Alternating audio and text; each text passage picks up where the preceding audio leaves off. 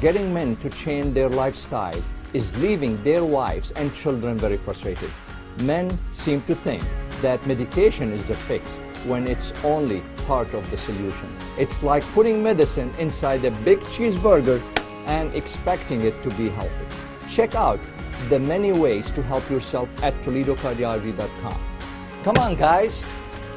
You can do it because time waits for no one.